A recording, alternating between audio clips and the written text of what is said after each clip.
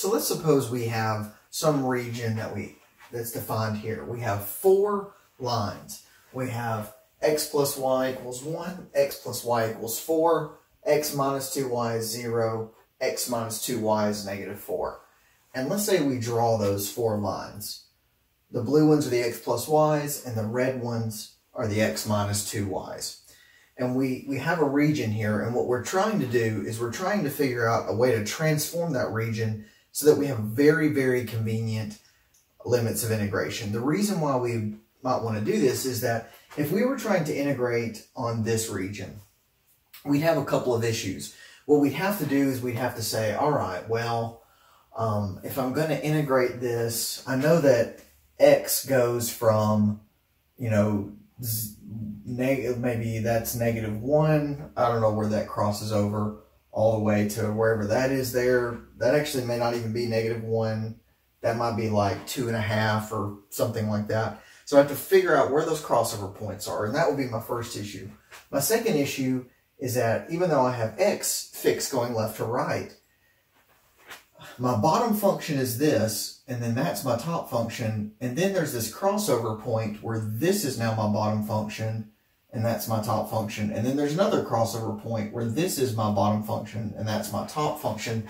So you end up having to generate three separate integrals uh, where your x limits are the same, but the y limits change per, integ per integral. And that can be inconvenient. It, it could be inconvenient in the sense of the function you're integrating might also be complicated to deal with if this is the region you're integrating over. So we want to find a better way to do this. We want to say, all right, I know that's some sort of parallelogram. So I wonder if there's a way to take that parallelogram and kind of like shift it over and make it a lot more like a rectangle? And the answer is yes, there is a way to do that. But we have to come up with a methodology.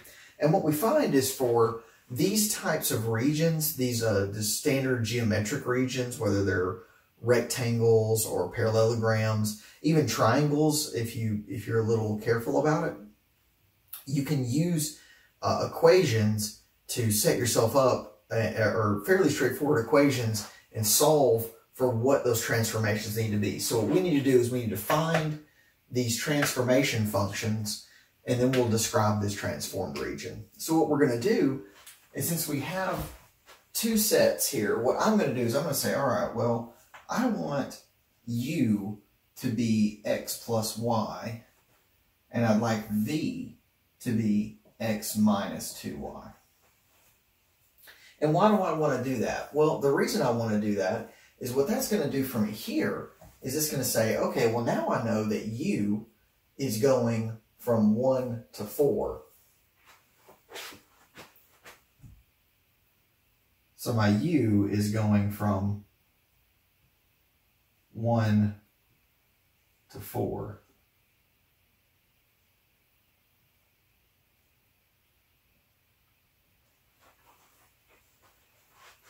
And then I know my V is going from negative 4 to 0.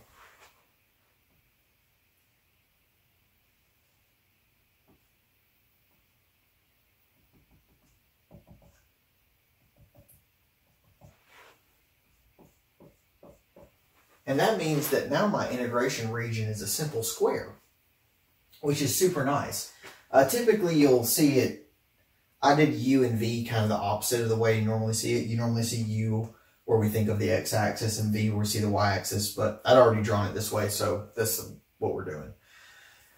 But anyway, with that substitution in mind, that's great and all, but what we need to do is we need to solve for x by itself and we need to solve for y by itself. And to do that, we have to go back and revisit solving systems of equations. So if you remember, any two equations, I can I can use uh, what we call linear combinations or constant multiples of the equation and they're still true. Remember, it basically all adds up to, I can multiply any equation by a number and if, and I can add the same thing to both sides. So in this one, I could say, well, if u is x plus y, then 2u is 2x plus 2y. And then what I'm going to do is I'm going to add the same thing to both sides. But on the right side, since these two are equivalent, I'm going to add the left sides together and I'm going to add the right sides together.